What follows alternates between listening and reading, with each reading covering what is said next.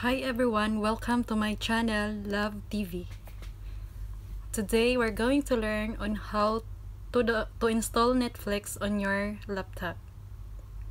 So first, click start and search app or Microsoft Store.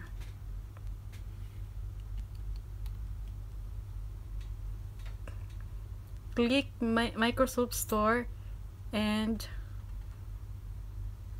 wait until it will appear then search Netflix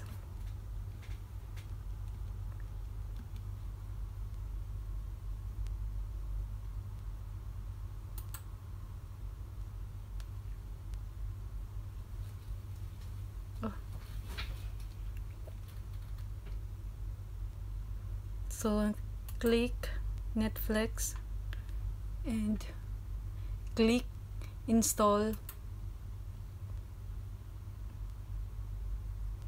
and wait until it will get downloaded on your desktop.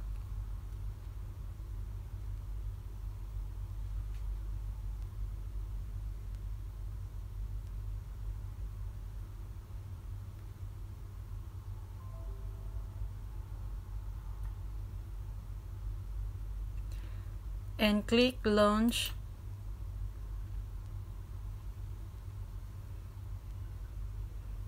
so it will be ready.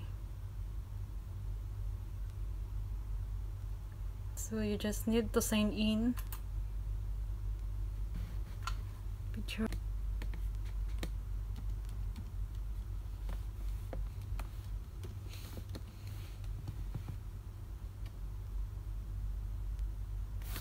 So you just need to click your username and then you are ready to stream any movies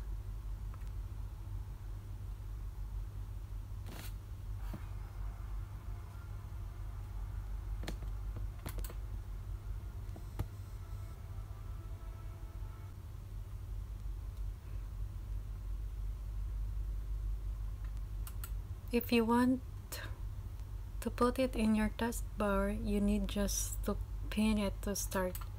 So you're gonna show it here at the taskbar